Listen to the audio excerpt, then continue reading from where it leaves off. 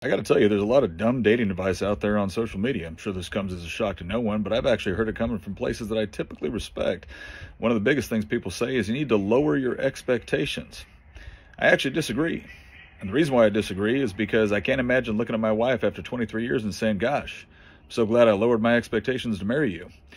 No, the problem is not that the expectations are high. The problem is they're stupid because they've been established by Disney, Hallmark, and social media when in reality, they should be said by things that actually make sense, like your faith, integrity, character.